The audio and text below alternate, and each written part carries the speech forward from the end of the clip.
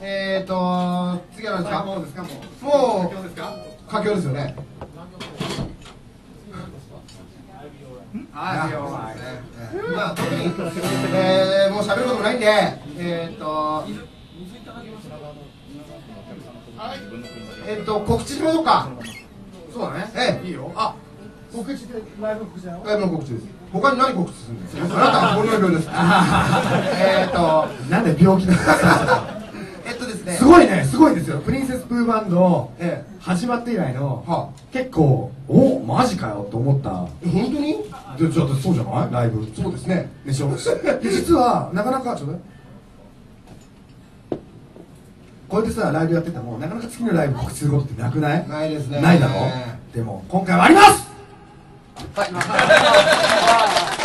めんごめん。松屋だね松屋だねすごい今なんかそうみたいな感じ。だけど結構聞いたらすごいぞ。横浜のおお神奈川ね神奈川の神奈川のシカゴだ。知ってる？あの結構ロックとかやってる人ロックやってるっていうのは失礼だけどなんか古さやけどバンドとかって横浜のセブンスアベニューって知ってる、ええー、あそこですか。セブンスアベニューのほうほであのなんか横浜スタジアムの目の前にある老舗のロックバンロックバンドが出るなんかあのライブハウスですね。あそこの25周年記念イベントに出るんですよ。なんと？すごくない？対バンするバンド普通にフジロックとか出てる人らしいんですよ。なぜかプリンセスプーマン。もう笑いでいくしかない。喋んの？多分それを求められてるんだと思う、しかないよね。うん、で本気だったもん本気今他のやつ。なんか横浜のなんかルーツレゲエをどうこうしたプロのバンドみたいな。やつらが見てさ25周年だからすごいゆかりの深いなんていうの。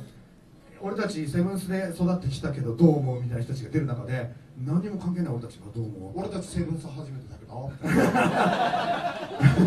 セブンスかもしれないけど俺たちファーストだけどみたいな。何かみたいな感じで感じで面白おかしくやるやるポジションで呼ばれてんの。で神奈川にお住みの方4月3日4月3日。近いじゃないですか。4月3日セブンスアベニュー。25周年イベントに僕出るんで僕ら出るんで。はぜひ見に来てください。よろしくお願いしあます。あとなんか他にないですか？プルプル以外の告知は？あ僕ですね。来週井出ちゃんが。ハッピーでライブがあって再来週がトラちゃん。あはい。そうそうそう。その20次の週が僕があのこれは？ユージ君のあのサザンカンフォートサザンですねあそこに飾ってありますけどね。ああれお本当のお酒の？あでそっから撮ったんだよそうですそれはそうでしょなんかいろんなまあそのなんでかっていうと桑田さんのね誕生日あの誕生日が近いですよ。2月26日って桑田佳祐の誕生日なんですけど。まあお祭り騒ぎなんで。そうそうその近くがなんかこう盛り上がってて僕らもあの3月7日に、えー、とこれも横浜中華街であのね。桑田研究会バンドのライブがありますのでぜひよろしくお願いし来まます。ね毎週顔合わせますね皆さんね。顔合わせますよ。顔合わせますよ。